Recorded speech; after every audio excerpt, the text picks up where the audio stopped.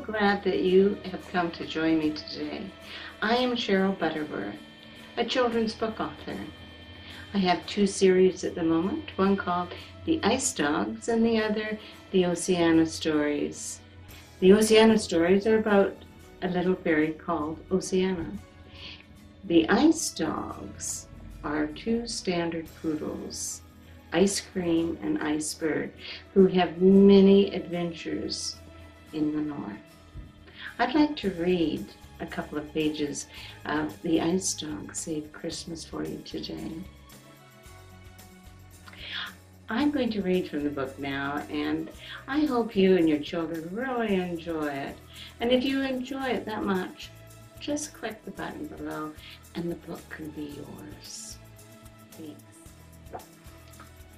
This is called The Ice Dogs Save Christmas.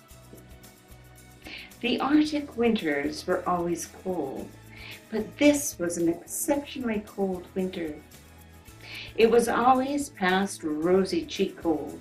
It was bitter, biting cold, a cold where you needed your parka done up to the top and a furry hat, scarves for your face, and mittens that went up over your sleeves so the cold would not run up your arms and kamiks for your feet.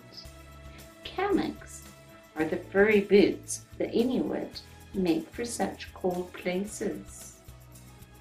The ice dogs, Iceberg and Ice Cream, lived in Yellowknife in the Northwest Territories in northern Canada, close to the North Pole. And of course, you know Santa lives there. In the barren north, there are few settlements towns and cities, so neighbors could be hundreds or thousands of miles away. In the case of the North Pole and Yellowknife, they were a thousand or more miles apart, but that does not hinder friendship. Sometimes distance only makes friendships closer and stronger. The ice dogs are standard poodles very big poodles. Iceberg is pure white and a male. Ice cream is a creamy white, a bit smaller than iceberg, and female. The ice dogs lived next door to a church, where in the roof lived a squirrel called Mr. Indigo Squirrel. Mr. Squirrel was given that name or given the name Indigo at birth, as he was such a dark brown black. When the light shone on him, he was almost blue. The ice dog's people put sunflower and pumpkin seeds out every day in the winter for Mr. Indigo Squirrel. This was to su supplement his store of pine nuts he had gathered himself that he had stored in the church roof. Ice Cream and Iceberg would wait for Mr. Indigo Squirrel to come for his lunch, and as he would nibble on the pine nuts and seeds, he would ask the ice dogs how their day was going and what they had been up to. And then he would tell them wonderful tales. With his age came so many experiences that gave him such wisdom.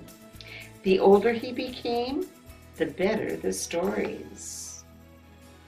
It was coming close to Christmas. The whole Arctic had been hit with a particularly bad form of the flu bug, putting many, many people in bed for weeks and weeks. This flu drained the person's energy. They had fevers, headaches, sore throats, and runny noses. For these people, the runny noses came from tissues and not the cold weather as was the normal in the Arctic. I hope you enjoyed those few pages that I read to you. Now, if you would like to read the rest of the story to your children tonight at bedtime, all you have to do is push the button below. We have it on Kindle and EPUB, uh, and you can download it right away. If you want the, the physical book, then you go to my website www.cherylbutterworth.com. I'm Cheryl Butterworth, and it's been a pleasure being with you today. I hope to see you again soon. Bye.